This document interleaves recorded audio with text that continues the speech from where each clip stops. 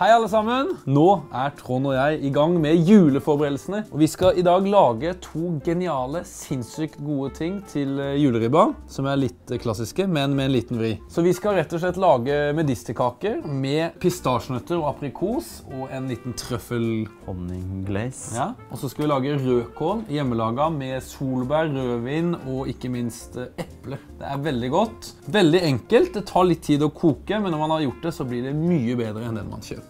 Så øh, hvis du kan bare skrelle de eplene, så har vi tre, må vi ha tre grønne epler, en kål og en rødløk. Så skal vi kutte det. Øh, Rødkål sånn som det holder seg også veldig bra, for det er jo kokt med sukker og rødvin og eddik. Så det er ikke noe problem å lage rødkålen en uke før julaften, sånn at man har det klart, så slipper man å stresse dagen før. Så da er det bare å legge all øh, kålen i gryta.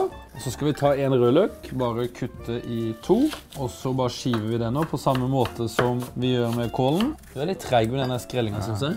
Og så bare kutter vi de litt sånne litt grove terninger, er ikke det greit? Jo. Så nå har vi tatt i eple, rødløk og rødkål i gryta. Så skal vi ha 50 gram brun sukkertårn, har du i det? Så skal vi ha i et par eh, spiseskjeer med flytende akasiahonning. Det var én.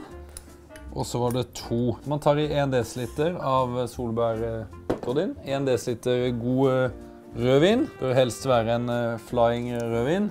Og så en halv desiliter sherryeddik. Har man ikke sherryeddik, så kan man bruke rødvinseddik. Man kan også bruke hvit.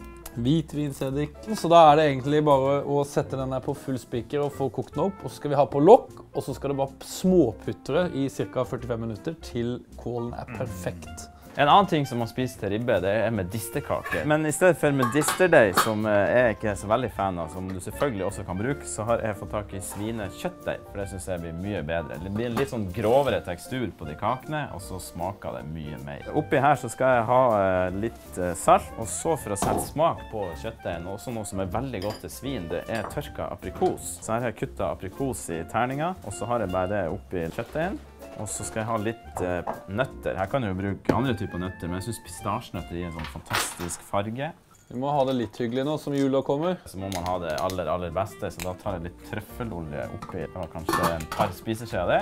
Litt fløte. Men nå til dags når du kjøper kjøttdeig, så er han jo faktisk eh, spedd ut så mye som oftest at du trenger nesten ikke å spe den. Og så skal jeg begynne å klemme det her i hop til det blir en eh, farse.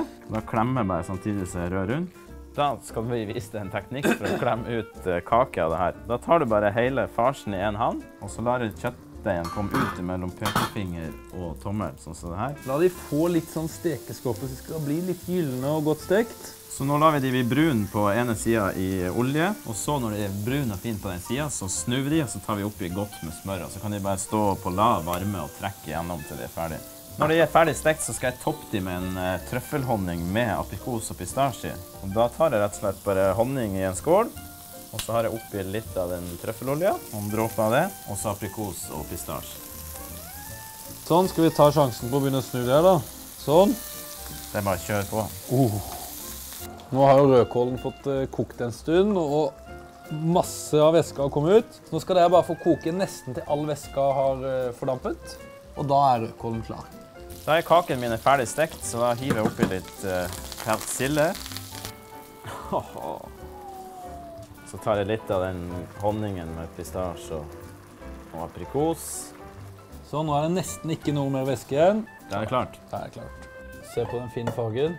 Så tilsett litt smør i slutten, så blir det ekstra godt. Da har dere lært to litt utradisjonelle julegarnityr, men samtidig så er det ikke så utradisjonelle at vi tuller med tradisjonene. For til jul så skal vi jo spise det vi alltid har spist. Ja. Dette gjør det bare bedre. Og vil du dele, så er det bare å dele med alle. Venner, familie, kjente, Den du måtte ønske. Så ønsker vi dere en Sharing is caring. fortsatt fantastisk førjulstid.